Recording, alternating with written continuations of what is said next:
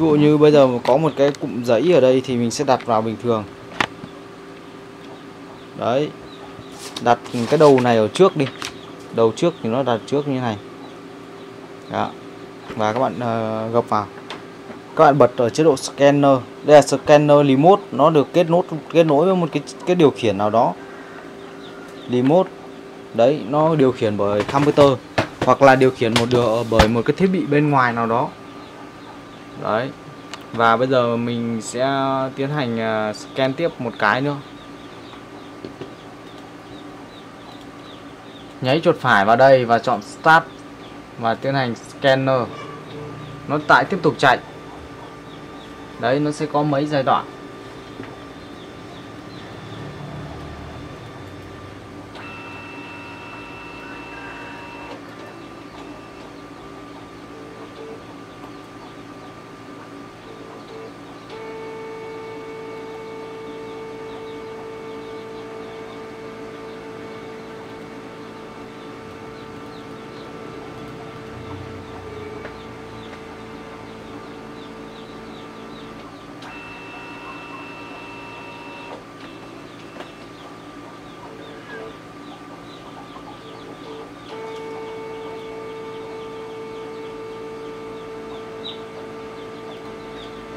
Đấy nó sẽ chạy. Chờ một tí nhé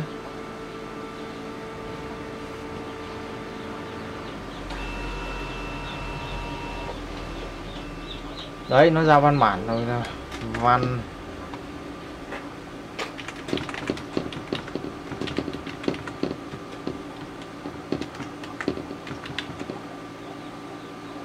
N. À, import. Nó sẽ import. Đây một cái văn bản dài dòng rằng đây là văn bản chuẩn này. Đấy nó bị lệch nhưng mà không sao. Đấy chung là đã scan thành công à?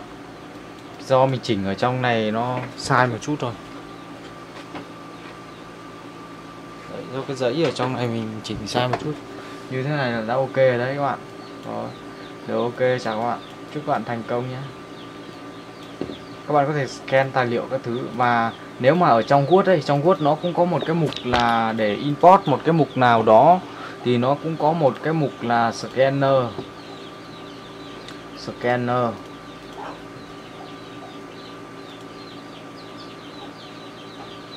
Open. Mình sẽ không open kiểu đó. Để dữ liệu mã hóa import hình như Word cũng có một cái dữ liệu là cho chúng ta để chúng ta tiến hành ờ, scanner. Luốt ờ, được trước mà mình thấy, nhưng không biết ở đâu nhỉ? Nó có một là layout. Để scan cái hình ảnh đó lại.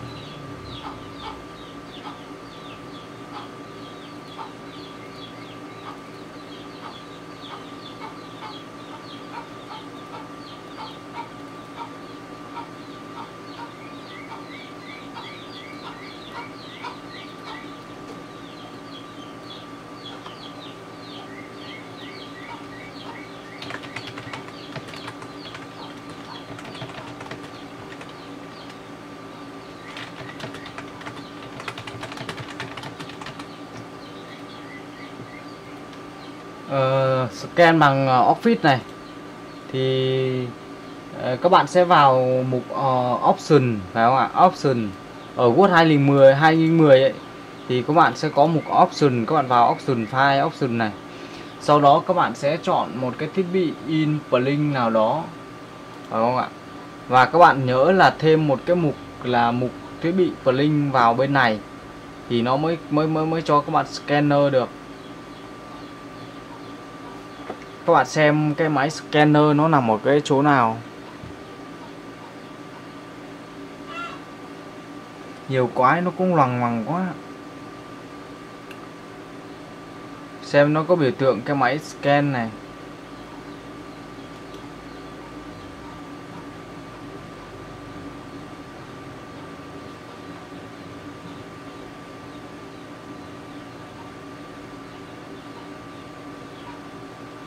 Đấy vào phần cúp tùn này tiếp này.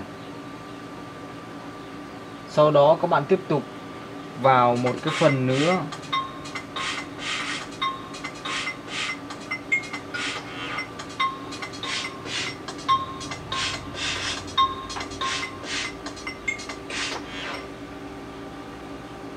À vâng anh. Được được rồi anh. Vâng. Vâng.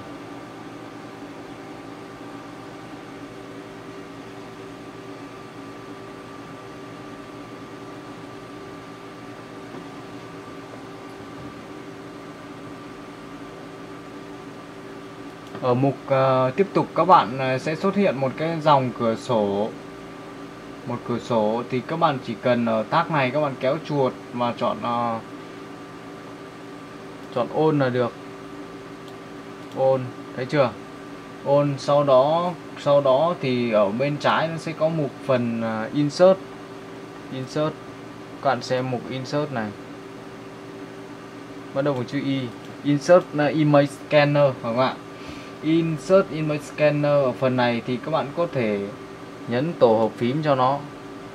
Ví dụ như tôi nhấn tổ hợp phím là F11 chẳng hạn. Và tiến hành chọn cái cây của nó. F11 sau đó các bạn bấm thêm. Sau đó các bạn nhấn uh, close.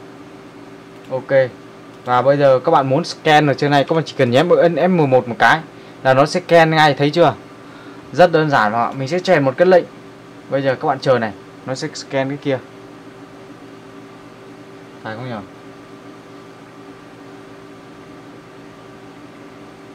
Chờ nó một tí. Đấy đấy đấy đấy đấy. Đấy, ok, chào các bạn, chúc các bạn thành công. Đấy, nó kiểu như thế này đấy đấy, scan web hay là scan gì? Mình scan picture, scan.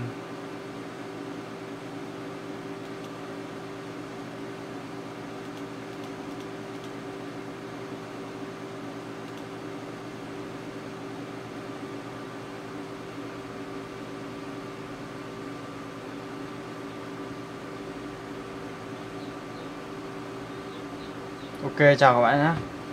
Chúc các bạn thành công. Goodbye.